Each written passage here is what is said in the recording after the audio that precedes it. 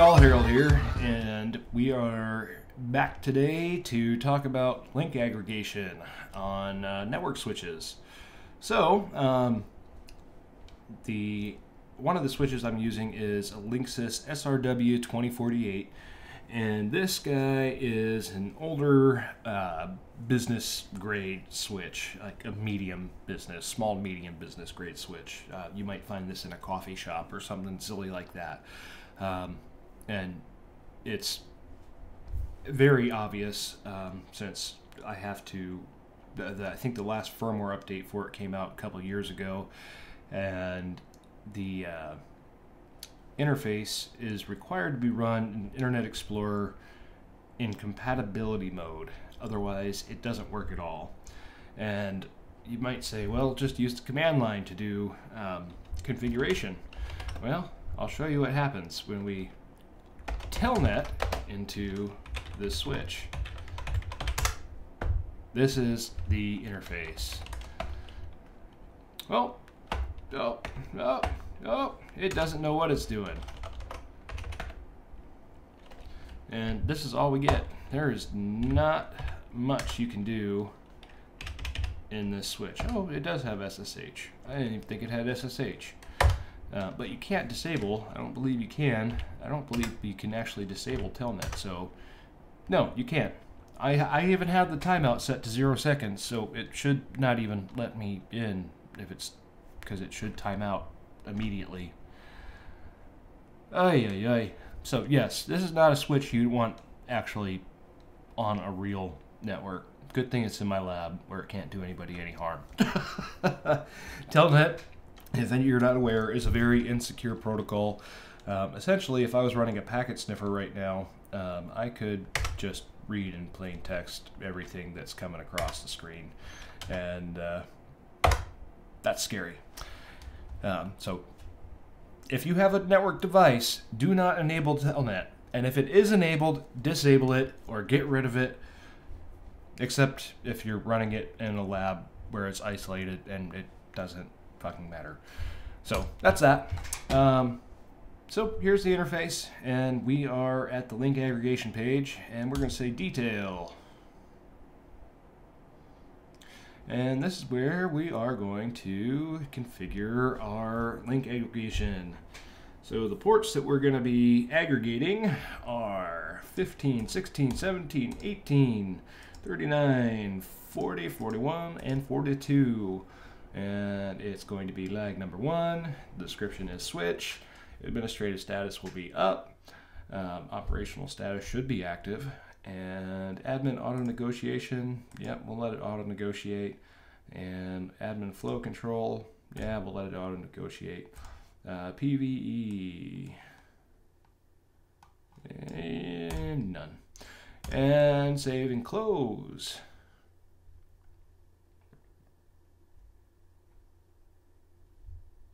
Uh, okay, it did close. As you can see, this, this is how bad this interface is. Um, so it's reading at 1000 megs, so it's getting gigabit there. And now it's time to configure our other switch. Um, this is our Dell 5324 and uh, PowerConnect 5324. I don't know what the 5324s are, but, I, but it might be based on uh, Brocade uh, hardware. Um, one of their series, I think it was something out of the 6000 series, was all Brocade switches that sucked and always died. This 5324 has its own series of problems too, but it's a lab switch, so it doesn't matter.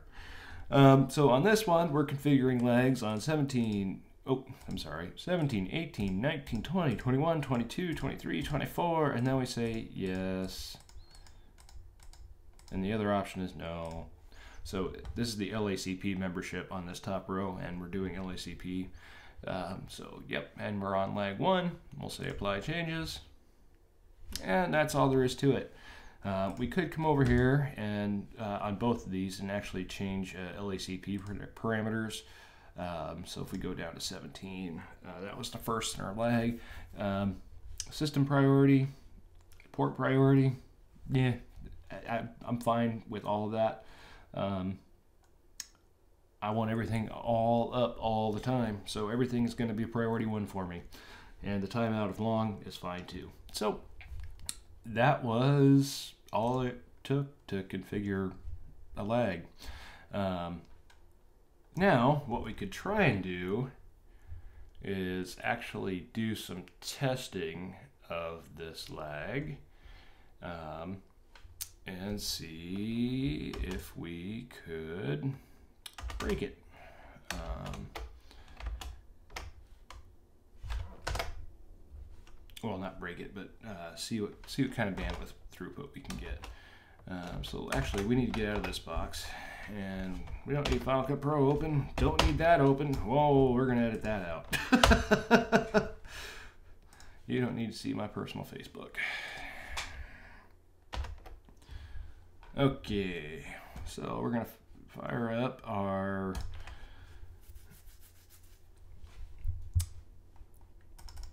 Windows 2012 box here. And okay, so we're back at our 2012 box and we are going to open up, uh, not task, yes, Task Mangler.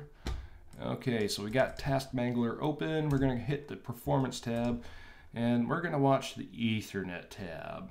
And actually, let's go to Resource Monitor instead, and screw you, Task Mangler, mangling all my tasks, and we'll say Network. So this gives us our full throughput um, right here and tells us how our I/O is actually looking like. And so there's our A team, the teaming uh, connection we created before. So what I'm going to do is I'm going to come over to a couple other machines here and start some very large file transfers.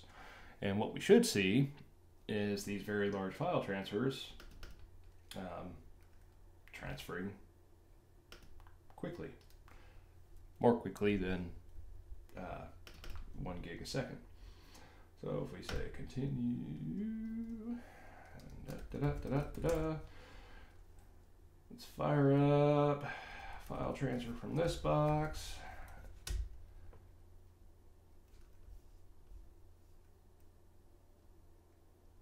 Oh, that's never going to make it. That's the wrong IP address. Uh,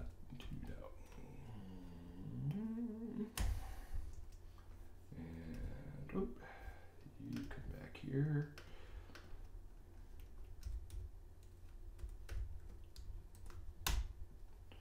And let's just go ahead and copy this really large uh, directory.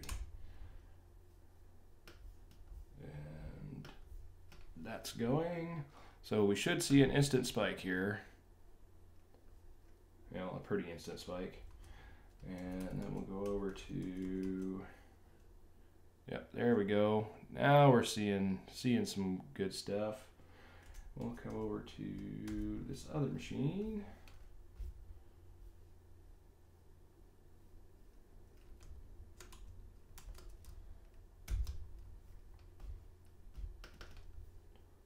And we will start another file transfer much the same.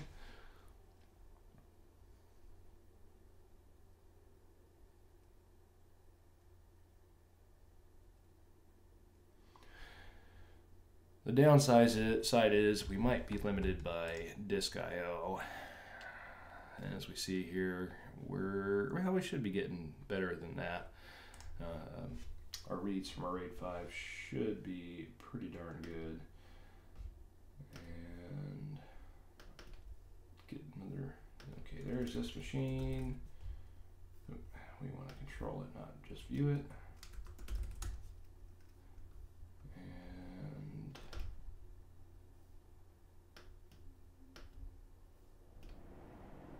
Start that transfer. Hey, getting closer. Well, we're over a gig there.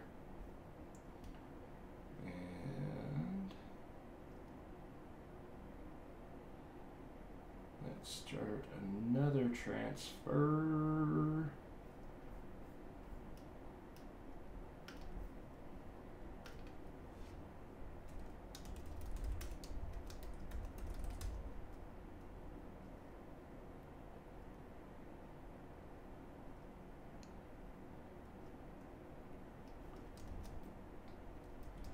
I should have had these transfers lined out. I didn't even think about demonstrating that it's functioning. Um, so, a button on my underwear.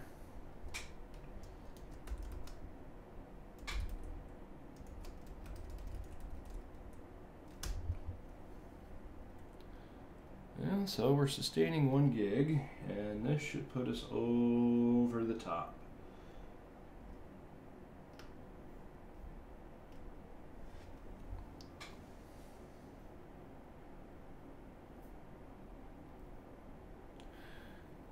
There we go. There we go.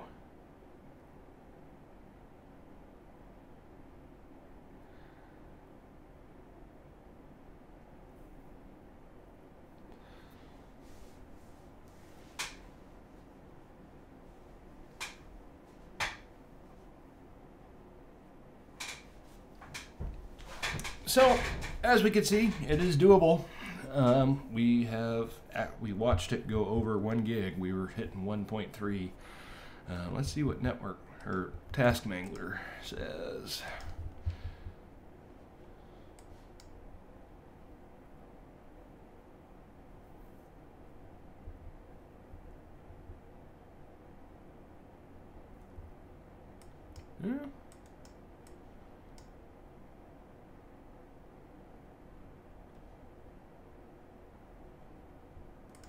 Yeah. So we're we're hitting across the two. All right.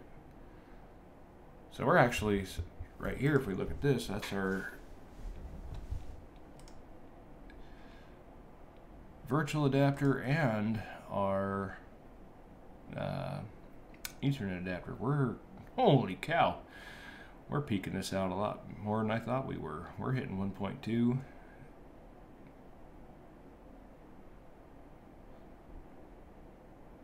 900. So it's distributing the load just as it should. It's spreading that load pretty good. We're hitting 1.5, just about. Yeah, we're getting great speeds. Woohoo! And it looks like at least well, no, it's just it's just going back and forth, back and forth, back and forth. All right. Um, oh, it looks like one of our transfers is done. Getting down to 39 uh, a second. Um, yeah, well, close to done. Anyhow, um, that's the demonstration of the lag working. Um, since the physical devices are plugged in on other uh, other sides of the two switches, so woohoo! Anyway, that's all we got for today. And if you like this video, go ahead and say like. If you're interested in more videos like this uh, with networking in mind, um, or you're interested in Windows Server, uh, Linux servers, uh, Mac OS 10, um, pretty much all things IT, uh, go ahead and hit subscribe and uh, you'll get uh, kept up to date on everything that's going on around here. And until then, we will see you next time.